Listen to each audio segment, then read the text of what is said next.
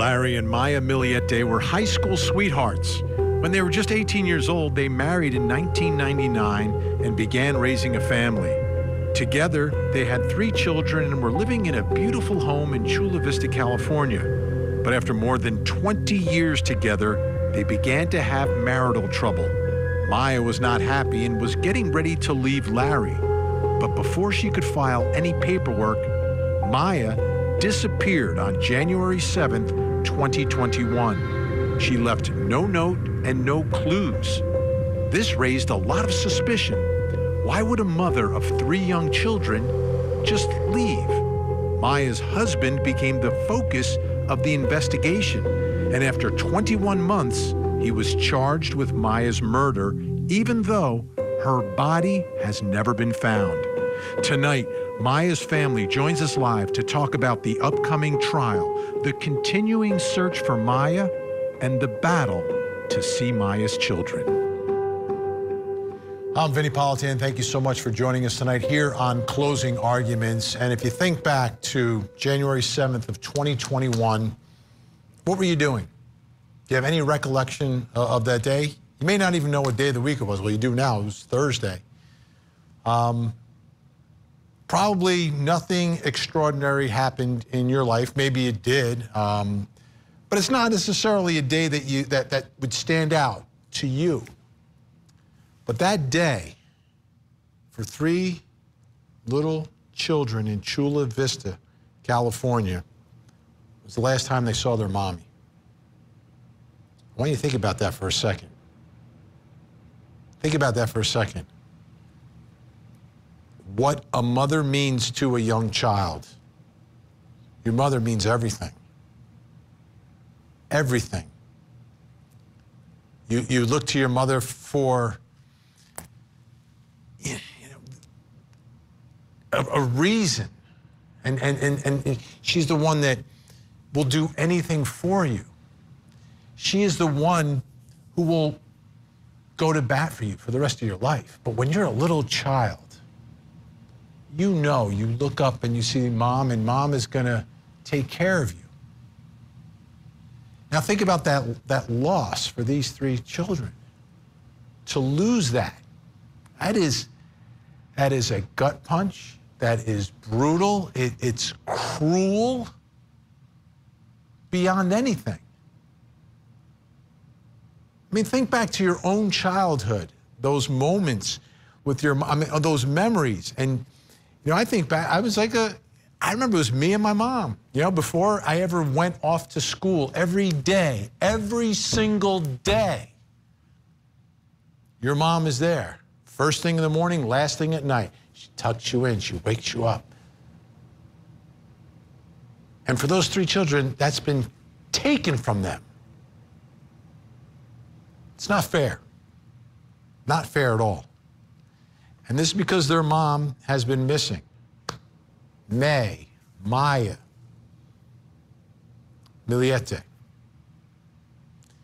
She's been gone. Where is she? Knowing her and what I've learned about her since covering this story from the beginning is that there's no way she would voluntarily leave those children.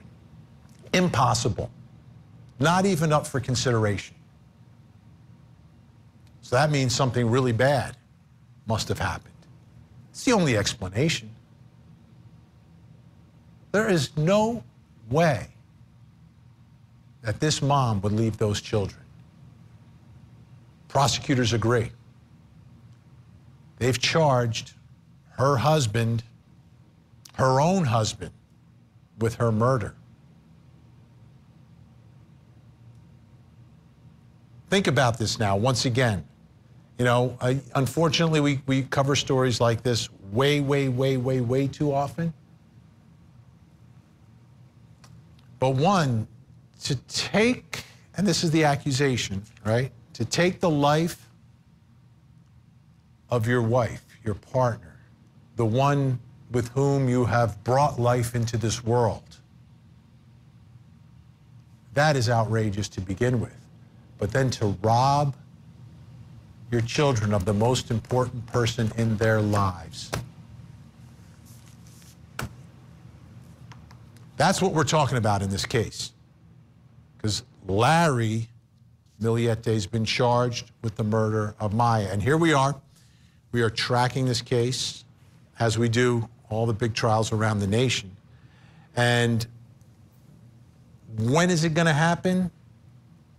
What's going on with Larry Millete? Well, right now there seems to be an issue with his mental competency, right? Which is your, your state of mind right here, right now. Not on January 7th of 2021, but right here, right now. It's been called into question. And as a result, things are moving a little bit more slowly than they normally do in our slow system of justice. But Rachel Bianco from our great affiliate, uh, ABC News 10, out in San Diego, has the latest for us tonight as we all sit here waiting um, for, the, for, for justice, justice for Maya. Here's the story. Larry Millete could find out next month if doctors think he is mentally fit to stand trial in the murder of his wife, Maya Millete. Until then, the criminal case is on hold. Maya's sister says every delay makes the loss of Maya even more painful. We wish it can, you know, be done sooner. I mean, it's been a year and a half, you know, for since my sister been missing. Larry is charged with killing his wife, even though her body has not been found. Maya hasn't been seen since early January of 2021. Larry has denied any involvement in her disappearance. Prosecutors believe he killed the mother of his three children because she wanted a divorce. The trial was supposed to start in June, but Larry's attorney raised doubt about his mental status. Maya's family says that came as a shock. He seemed normal, like everything seemed normal for years until this happened, and all of a sudden he's not capable of speaking or you know, stepping into trial for something that he did. It's just, it seems like he's backpedaling, and now he's trying to protect himself. And I don't know, it's ridiculous to me. In spite of the charges, Maya's sister says seeing Larry in court doesn't get any easier. He was a family to us, you know, like 20 years he was with the family, so it's really heartbreaking for me to see him. So this issue is one that the court always has to deal with. We, are seeing it happen in the case of the Doomsday couple. Lori uh, Vallow Daybell was found to be not competent, then was returned to competency. So, and, and we'll talk about the legal aspect of all this in our next hour. Uh, but right now, I want to focus on where we are in this case, where the family is, and, and how everyone is holding up. I want to bring in some special guests who've been uh, joining us since the beginning of this case. In Chula Vista, California, uh, Maya Millete's sister, Mary Chris Juliet, and her husband, Richard, uh, back with us tonight. Uh, thank you so much. Uh, nice to see you uh, tonight. Um, how are you guys holding up, first of all? It's been really hard, Benny, but um, it's it's nice to see you too. But yeah, it's um, the family has been um, it, has been really hard for everybody. Um, not knowing anything at all still, um, you know, but um, we're, we're, trying holding on and not giving up. Um, still searching for my sister, um, but we have um, each other and our family to you know, to hold on and give us strength uh, to keep on moving. Absolutely. Um, you know, when the when the charges were first brought, um, uh, I knew that this was the beginning of what would be many times a very long and difficult process on victims' families. It, it always is. It's never easy. So um, I hope they have some victim advocates that from the court system that will help you navigate through this. Um, that's always my hope. What are your thoughts, though, about the accused killer? Okay, That's what, he's an accused killer. That's what he is now. Um, the fact that all of a sudden he's mentally not there, allegedly, or not acting the way he'd been acting, I guess, throughout his entire life. Um, what are your thoughts there about what you've observed, what you've heard about the status of uh, the accused killer? Yeah, it's tough to uh, to accept that from a family member. Um, knowing him, seeing him outside years from now. I mean, years years ago, uh, he was a great father. I've always we've always said that he was a good father. Um, maybe a terrible husband, but he, I know he loved he loved his kids. He spent time with them, taught them some cool stuff, and all of a sudden he's not competent enough to face reality. I mean, he planned this, uh, according to the DAs. He planned this um, really well for months, maybe years. Who knows? I think ever since they started having the arc, you know, marital issues, I think that's when he started planning this. Um, he loved her so much he couldn't let her go. I guess a, cr- a crime of passion, but it's, it's, there's no excuses for what he did. Um, seeing him in court, yeah, it's it's it's hard for my wife. Um, does he make eye contact with anyone there, or does he just kind of look straight ahead and talk to his lawyer? Yeah, no, he doesn't make any con- eye contact. Um, I, I don't think he has any supporters. Uh, uh, I know at the first couple times that we went to court, uh, he had a couple friends there, I guess, and he would make eye contact with them, but he won't make any with us at all. Um, and it's just it, it's it's so it's some it's hard to exp- explain like the feeling because you would see him at camp, you know, go camping or go shooting or do some activities with the family, and he was perfectly normal. And now, it's like it's it's completely different. The the level of betrayal that is alleged here is is beyond anything. I wanted to put on the screen something because I wanted to talk about the, the children just a little bit. Um, and this was when the, the, the, the, the government, the prosecution, um, was making a request to deny bail for Larry Millete. They, they put in their, in their filings that the three children were in the home at the time the defendant murdered his wife on or about January 7th or 8th, 2021. Although he allowed detectives to interview them at the house a few days after May was reported missing, when detectives asked they be brought to Children's Hospital to be interviewed by professionals trained to speak to children, he refused. Um, obviously, red flags when he does that. But at, at this point, as we sit here tonight, um, how are the children? Are, have they been permitted to have contact with their mother's family? Um, yeah, so since um, Larry got into uh, went to jail, um, we were able to file for a guardianship for the kids, and so we were able to um, get a court uh, uh, a visitation with the kids. So we've been seeing them the first and the third of the month. Um, yeah, and we're so happy about that. Um, but um, you know the kids are doing well. Um, unfortunately, with the court order too, um, we're not really allowed to talk about much, that much, you know, regarding the kids and um, regarding absolutely, absolutely. I just want to make sure they're okay, and and if they, you got to spend time with them. Yes. Yeah. Details, not my business. Just wanted to make sure because I, I was extremely concerned about their worlds being completely shut down from anything connected to their mom. And um, thank you. That's the best news uh, of the day. That's the best news of the day. I want to play for you um, something that was said by uh, the DA in this case. And then I want to ask you about it because it's one of the facts that we learned in this case that I think shocked a lot of people. Um, let's take a listen. Larry was trying to hold on to May, and he resorted to uh, contacting what are called spellcasters. I've never had a case where that was involved. These spellcasters would be asked to make May want to stay in the relationship.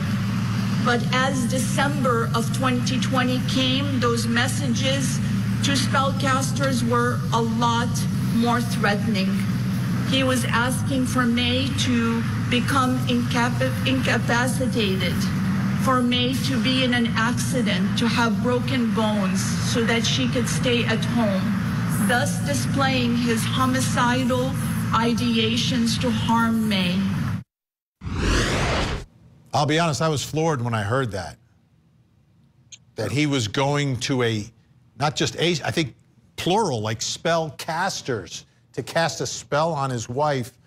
Uh, Mary Chris, I- I'm wondering your, your thoughts when you found out about that.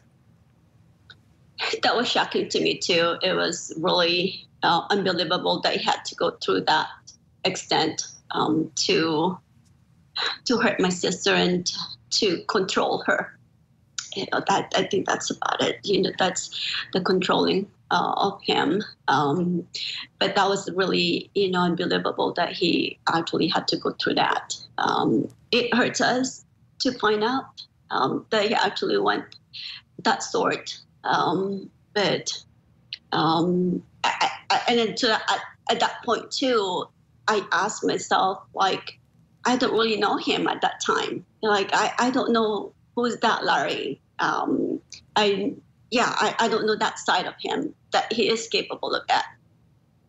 It, it's unreal, but it will be, and, and it could be very persuasive evidence uh, during the course of the trial. If you have the you bring the spellcasters in, I mean, it it speaks volumes about where his mindset was and, and where his thoughts were at the time, and uh, could be very important. Uh, Mary, Chris, and Richard are going to stay with us. Um, we've got a lot more to get to in this case, and, it, and there's really two parts to this case. There's the trial, but there is still a missing mom. Um, I mean, there is the search that is ongoing, so we'll deal with that as well. In the meantime, coming up next hour. In Pike County, Ohio, one of the most notorious crimes in the history of the state, the mass execution of eight members of the Rhoden family. The accused, a rival family fighting for custody of a child. Now, the trial is about to begin, and we're live from Pike County with the latest. They studied the victims' habits and their routines. They knew the layouts of their homes. They knew where they slept.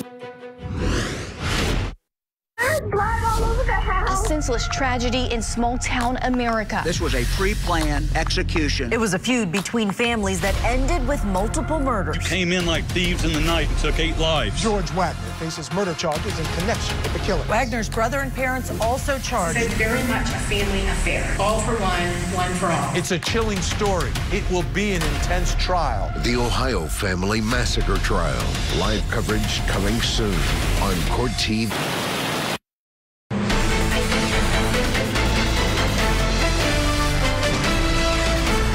Was there anybody that wanted to hurt her? Was there any other guy? I hate to ask, but I, you know. Um, you know, like I don't know. Uh, I told the police, you know, she really likes hiking. Okay. Um, you know, wine tasting, so Temecula and stuff like that. But I don't know what else to think. Like, who would you know kidnap her? Or, Would she go hiking by herself? Um, she has, yes, but that's the ones like close to the house. We have a hiking trail in San Miguel Park or San Miguel over here. That's the only time she would go by herself. And yes, she has before in the beginning, um, but she would take her car. So Right. she would go to the one, I don't know, the the Santee one or the one in the Mesa. I, f- I forgot. There's a mountain there. Yeah. Um, but you know, yes, those ones she would go by. So, but most of the time she would go with hiking mamas uh, with Shane, and then um, you know she's like one of the leaders, and then everyone else is like whoever shows up shows up to that group. Uh, that was Larry Millete speaking about his missing wife, May. Um, she's still missing, but he's been charged now with her murder. But before that ever happened, he spoke with KGTV, our, our affiliate out in San Diego. Um, and again, he, he took some time to describe and give his version of what happened uh, in the days leading up to when she went missing. Take a listen. When did you first notice that May was missing? Uh, Saturday morning. Okay. And tell Uh, me, her parents came by. Mm -hmm. just tell me, kind of walk me through like the last time you saw her and what was going on. Uh, Thursday, Thursday night. Um, you know, like we got into a, a, a kind of an argument, um, and, and you know, uh, we've been having uh, you know like problems, um, you know, for about a year. Kind of like been up and down and stuff like that. But after that, you know, I give her space. So just tell me. Uh, so you got into an argument, and then um, the last time you saw her was actually in the house. Yes. Okay. Thursday. So she did. She and she didn't take a vehicle. No. No one but, saw her leave. Um, no, but on Friday, um, I could still hear but I didn't physically see her when I got home. But that's like normal too, because we, you know, we have lots of bedrooms. It's two-story house, and you know, we kind of like. Well, I give her space. So, but that's why every time someone says um, Thursday, yes, it's physically, you know, or you know, visually see her, but um, for me, it's uh, Friday, Friday night. You know, I can hear her like wrestling around, making dinner for herself in another bedroom. I'm sleeping with the kids in another bedroom. Okay. So upstairs and she's downstairs, kind of deal, like kind of like a roommate um, thing. It's kind of like giving each other space. Well, I, I don't need the space. She always wants the space. Got it. So it was like Friday, and then you left or went went somewhere, and then came back, and she wasn't there, right? Yes, uh, I left her with my two girls because they, you know, they um uh, do their homes homeschool, Mm-hmm. And then I just had my son with me. So uh, when I came back, she was still there on Friday. Um, we can hear her downstairs, you know, like after I'm done giving the kids baths and feeding them and everything. And um, on Saturday morning, uh, when her parents came came by, uh, her door was locked. Uh, I found the keys to the bedroom, and I opened it, and she was already gone. So it kind of maybe she went to a morning sunrise hike. Now, um, that's his story, and I think that'll have to be his story at trial unless there's some other defense that they uh, uh, bring forth. I mean, this is what he's saying uh, at the time that uh, May is reported missing. But what was really going on inside that inside that home and in that relationship? I want to bring back in our special guests, uh, May's sister Mary Chris and brother-in-law Richard. Um, what can you tell us um, about the status of their relationship at the time that May went missing? Um, as he, you know, Larry admitted it himself. You know, they've been having marital, you know, issues for a year. Um, so um, it's been up and down uh, for the last, you know, maybe a few years before that too. Um, but it just got worse in uh, 2020. Um, but um, uh, I, you know, they they we, we don't usually go to their house, but they, you know, we always have parties and they at least we see each other almost every other um, every month i would say. And um, we with that the relationship we sometimes we can tell they're having some arguments or they have you know they're fighting and um, you know sometimes they're okay. Um, so you could actually tell there's a they've been having marital issues they've been having problems um, but um, um, I, I just um, didn't uh, imagine that it was that bad. Um, my sister um, had quite hide it from us, you know, from her family, because then again, she didn't really want us to worry about, you know, her side or her issues or her problem. Um, so she didn't really open up as much as I wish she could have, you know, to us. But um, you could actually tell they're having they're having problems. Now, that weekend was an important weekend, wasn't it? It, it, it you know, it's not a weekend where she's going to take some casual trip somewhere or, you know, after a fight with Larry, uh, just you know, storm off. I mean, that was there was a big weekend coming up. What can you tell us about that weekend? Um, what you observed, other members of your family uh, may have seen or heard. Correct. Yeah. So that weekend as actually she planned a birthday party for her daughter. Uh, that Sunday is her daughter's 10th birthday, and we plan to, we were going for a snowboarding trip up in Big Bear here in, in, in California, and um, you know she was planning for it. Uh, we all we are all looking forward to going and um, having a, a good party and celebrating her daughter's birthday. So um, for her to just leave early Saturday morning is not her because their plan was to leave Friday night uh, to go up in Big Bear. So um, his story doesn't really match up with what he was saying on what was planned for that weekend. This was a big deal. This was like the family was getting together and, you know, daughter's birthday. You're not going to leave then. That, to me, that makes no sense whatsoever. Um, Richard, were there any conversations you had with him at the point that, uh, that May was missing? I didn't really talk to him. I didn't really open up. He didn't open up to our conversations as most men do um, or don't do. We kind of just talked about stuff that we like fishing and camping and other activities. Um, but about the relationships, we never really talked about relationships. Like, I don't know. How about after the moment that, okay, now May is missing and everyone's wondering where she is, everyone's looking for her, everyone is desperate. Did you have any conversations with him in that that point of of time? Um, Saturday when we when we showed up, I I asked him what happened, and he just kept to himself saying, "I don't know, she's not here," and I that's when I just kind of like I was kind of huddling around my wife because she was very emotional at the time. My sister's missing. We got to call the cops. And I'm like, Larry, we should call the cops. I mean, he's, uh, we did call the cops, and they told us to call the churches, call the hospitals, call any women retreat uh, centers. And I said, okay, uh, I'll start calling the churches. She started calling any hospitals. And Larry just, I'm like, you should call. He's like, no, you guys are overreacting.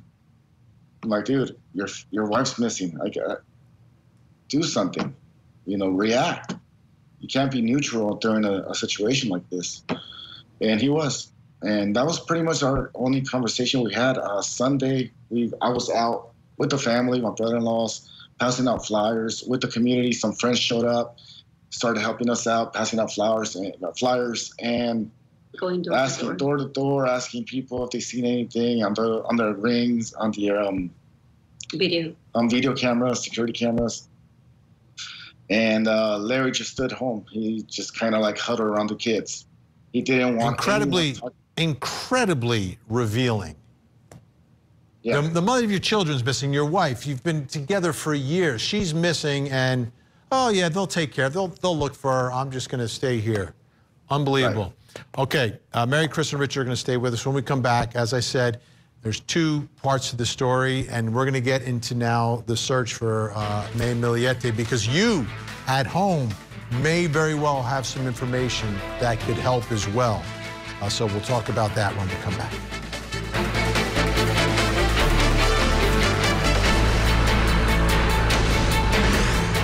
Off your purchase.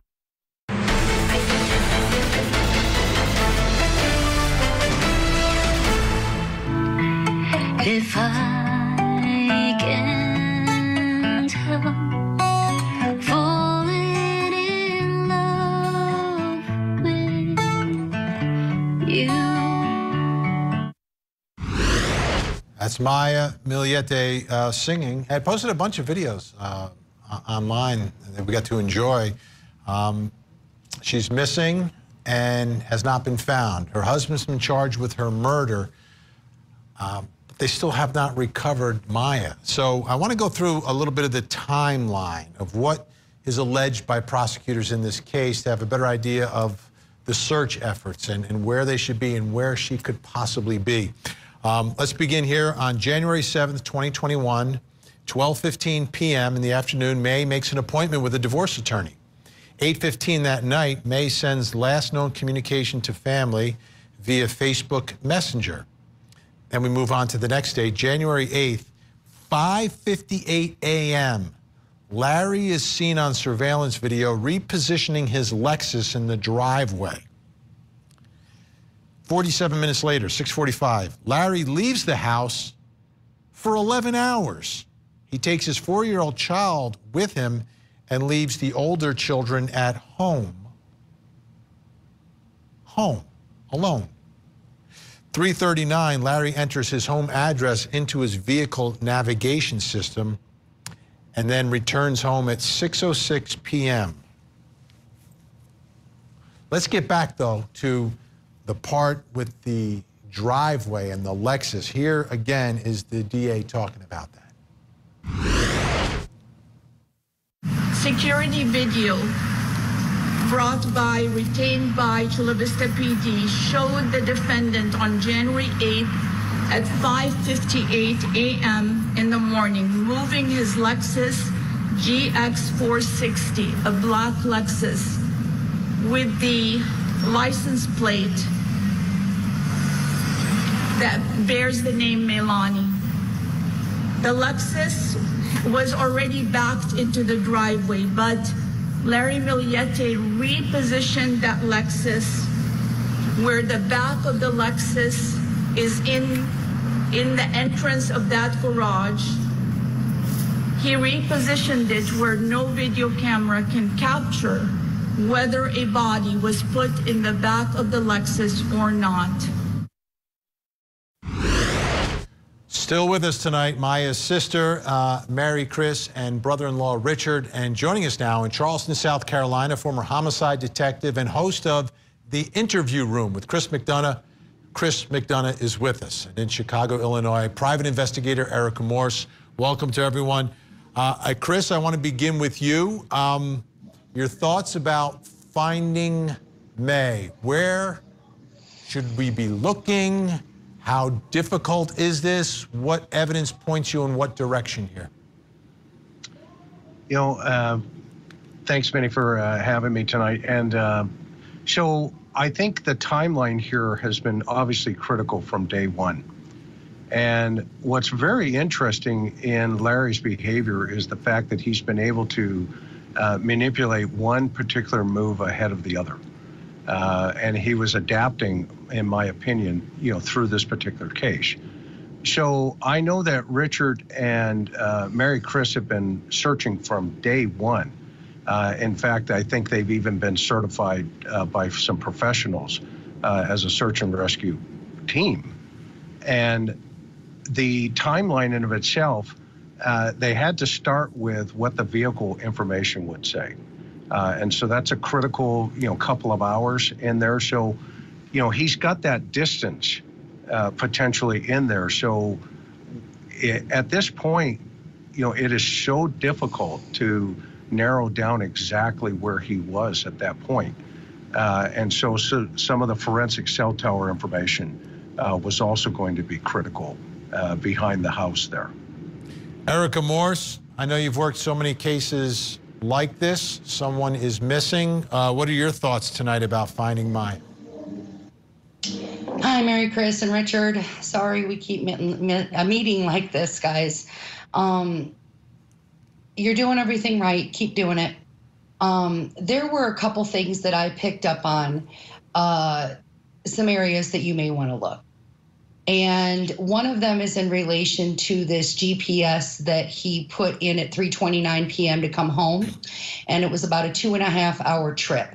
I don't think he went as far as San Diego. I don't think he went up to Solana Beach. I, don't think he did. Um, there's a property in Murrieta. I don't know if I'm saying that right, um, but that property was actually vacant in 2021.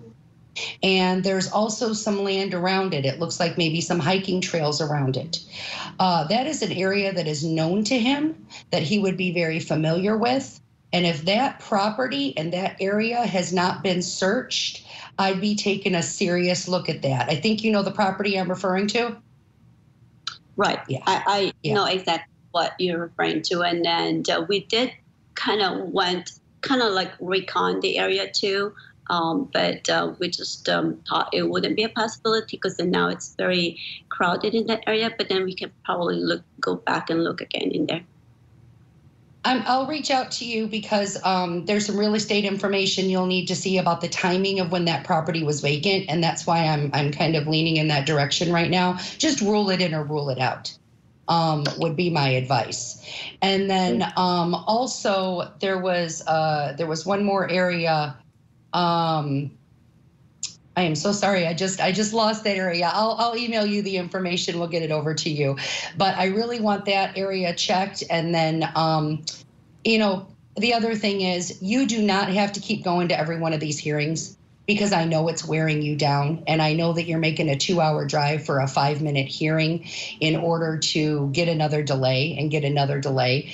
You don't have to put yourself through that. You know, trial could be months away, trial could be years away, depending on what the judge decides in this competency situation. So just keep focusing on finding Maya because when you find her, there's going to be a whole slew of new evidence that is only going to strengthen this case. Um, there are some search organizations that we may need to put you in contact with, especially because of the vast area you're searching. Texas EquiSearch, Laura Recovery Center, um, even Adventures with Purpose, who has done amazing work lately with water searches. Um, so let's get you in contact with some more because I noticed that your searchers are still being trained to learn new areas and learn new train or new search techniques. And so we want to make sure that you have all those tools to conduct a thorough search and cover every type of terrain. Thank you so much. Thank you. You're All welcome. all our guests are going to stay where they are. We've got more to cover here. Um, once again, um, the search for Maya continues. Yes, there's a trial. Yes, there are charges, but she still has not been found. Also, coming up next hour. In Miami, Florida, Instagram and OnlyFans model Courtney Clenney extradited back to Florida, charged with the murder of her boyfriend, getting ready for her next court appearance and trying to get released from custody. Should she be granted bond? Our think tank weighs in. Evidence gathered during the investigation of Christian's death showed that since November of 2020, he and the defendant, Clenney, had been involved in an extremely tempestuous and combative relationship.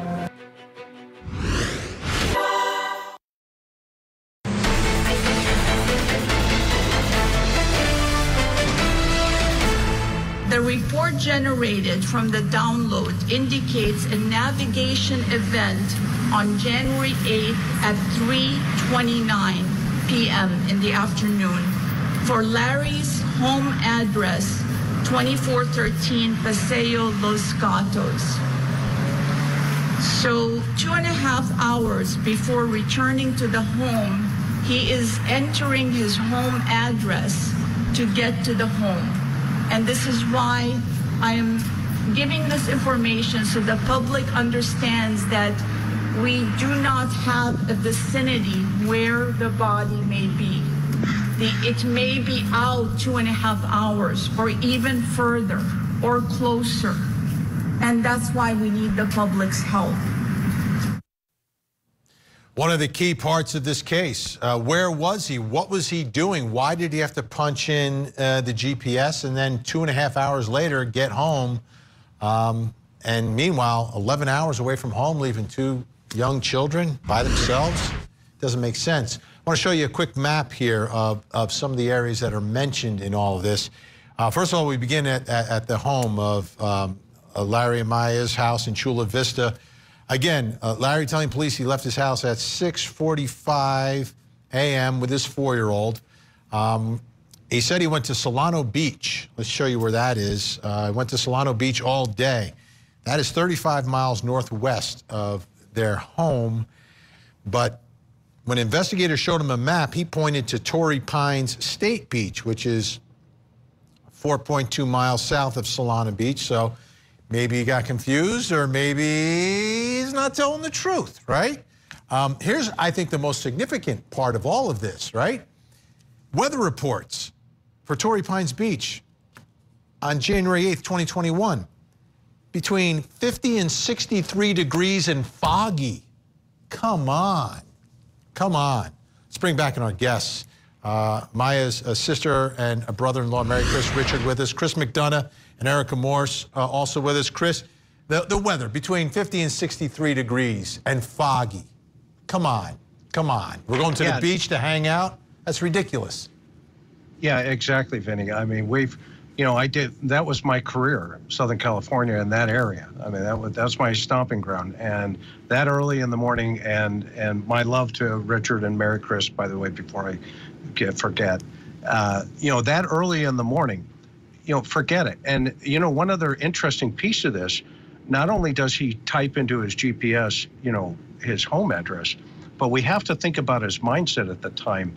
You know, he doesn't know really where he's at because he's getting directions on how to get home.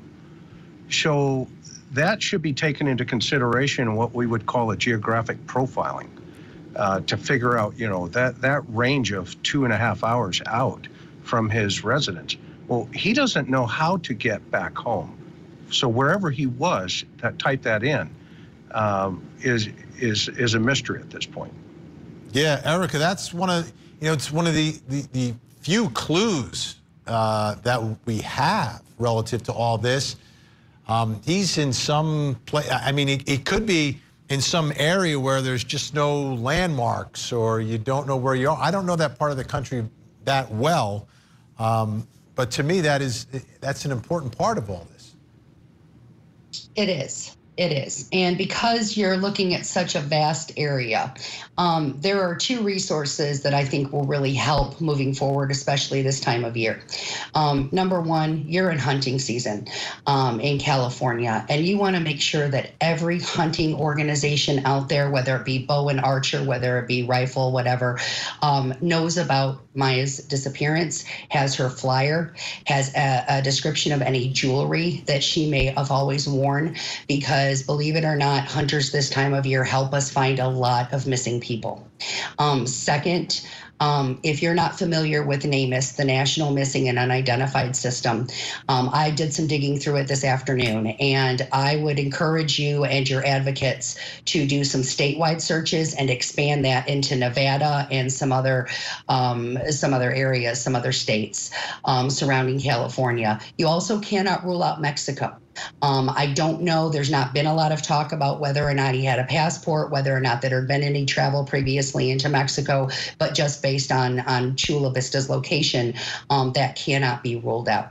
So I think that we can use a combination of some online databases and some technical tools, along with just those searchers, to really kind of expand that, because you really are looking for a needle in a haystack right now. And take it from somebody who's been there, it's not easy. It will drive you crazy and you just need all the support you can get. So, Mary Chris, we, we know how significant it would be for the investigation and the trial. I think they can prove it as is, but obviously the case becomes infinitely stronger with that type of evidence. But how important is it for you and your family? It will mean the world to us to find our sister. That's all it is. Yeah. That's what we're asking for, just to bring her back home, to bring her back to us, her family, her kids. That's all that matters to us. It, to be honest, yeah, I don't even care whatever happened to to Larry. That's, we just want our sister back home. That's all we want. It's very important for the whole entire family. So I'm just going to take this opportunity to ask the public, please still help us find my sister. Let us bring her back home, please. Uh, Mary Chris, I know how difficult this is for you. Um, and I, I, appreciate you coming on, and I know Maya is thinking of it. But I also know that you two together, um, and Richard, you know, providing such, you know, we can see it. I mean, we see it anytime you come on, that strength uh, is so important. And, and Richard, um, uh, you and Mary Chris have just been amazing advocates uh, for May and for each other and representing your family so well. And we wish you the best. We'll stay in contact, obviously. And again, folks, if you have any information, please, please, please pick up the phone, whatever, even if you don't think it's significant, uh, make that call. Uh, Chris McDonough, host of the Interview Room with Chris McDonough. Make sure you watch it, download it. Erica Morse, always great to have you, your experience, and your compassion as well. Thank you all so much. Um, we'll be back.